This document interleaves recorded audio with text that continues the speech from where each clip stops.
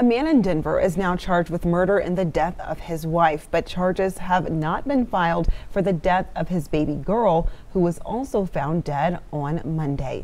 The police report suggests that Nicholas Meikle, Myklebust claimed that his wife was hurt in a fall at the family's home, but investigators say her injuries and injuries on Myklebust's hands didn't line up with that story. The cause of death for the daughter, who was three months old and did not have visible injuries, has not been determined.